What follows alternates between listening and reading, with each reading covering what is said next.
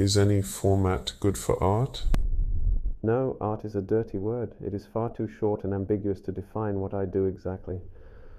I feel like you are trying to make me sound like I'm complacent with where I position my work, and I don't appreciate it.